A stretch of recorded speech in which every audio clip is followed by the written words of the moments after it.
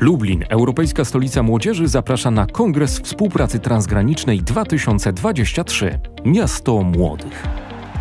Coroczne spotkanie praktyków współpracy transgranicznej z krajów Unii Europejskiej i Partnerstwa Wschodniego. Trzy dni paneli i debat z udziałem organizacji młodzieżowych, liderów samorządowych i ekspertów z całej Europy.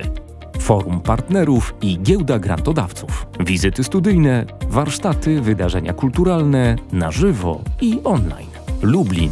9-11 października 2023. Zarejestruj się bezpłatnie na stronie kongres.lublin.eu.